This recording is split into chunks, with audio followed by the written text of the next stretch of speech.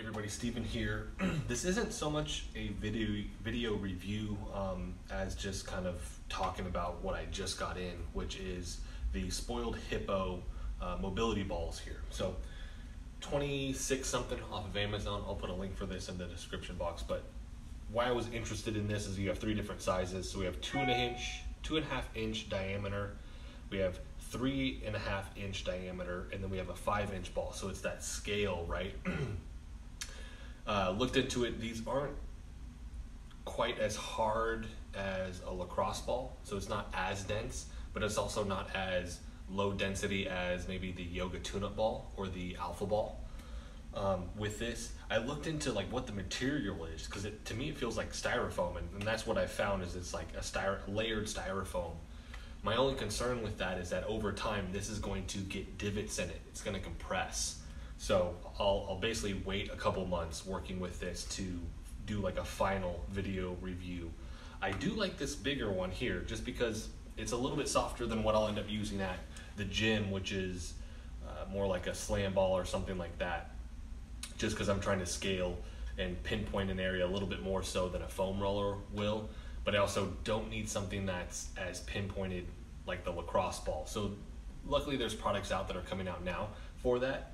But with this one, this is an interesting size just because I can get into the glute and really dig into some areas that foam roller isn't quite cutting it, but I also don't want to, at least on the ground, use a lacrosse ball. I typically use one up against the wall because I can scale that a little bit more.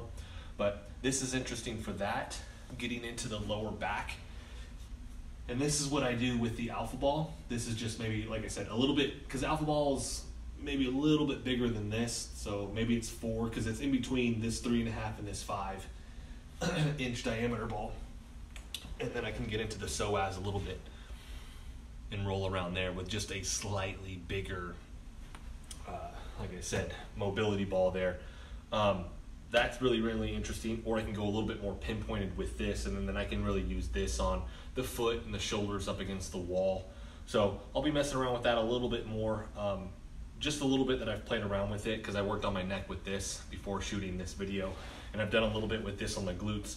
Um, interesting, like I said, my only concern right now is that the density of this is going to break down over time, and eventually this is just going to be a crumbled ball. So we'll see how that goes over the coming months, especially because I'm going to be using this a lot more with clients that I have that uh, weigh more than I do.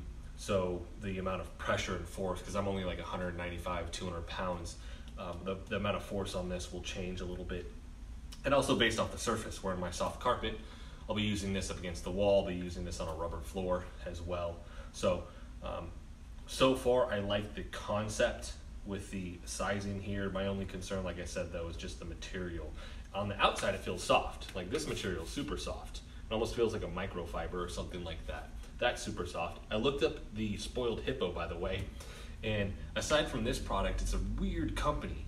Um, they have a carrying bag with this too, but besides this, it's like a cereal dispenser and like a couple other product, like a picture frame. Like it's really random. and then they have this product.